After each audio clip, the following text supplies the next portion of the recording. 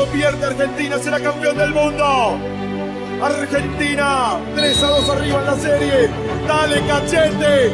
Hacelo, por favor, Montiel le pegó.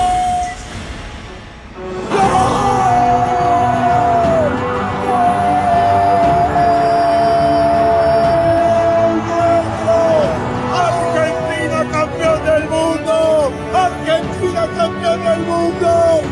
Gonzalo Montiel entró a la historia. Argentina ganó 4 a 2 la definición por penales después de un partido infartante de un tremendo 3 a 3. Argentina campeón del mundo de Qatar.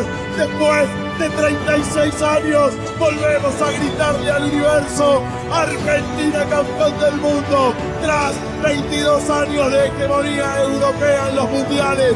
Argentina vuelve a llevar la copa a Sudamérica. De nuevo Argentina cambiando la historia. Argentina campeón del mundo. 36 años después de México 86 a Qatar 2022. Somos los campeones del mundo. Nunca, nunca nos subestimen a los argentinos ni nos den por muertos. Somos argentinos y hacemos de la resiliencia nuestra bandera. Y miro al cielo y digo, esto también es tuyo, Diego, porque desde que te fuiste para allá, Argentina no para de ganar. Después de 36 años, la Argentina en lo más alto del podio, con coraje, con personalidad, con garra, con juego, con gol. Ninguno, ninguno falló.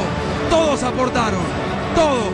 Tapia y la idea de Scaloni. Con un entrenador joven y sabio, Argentina campeón mundial de Qatar 2022.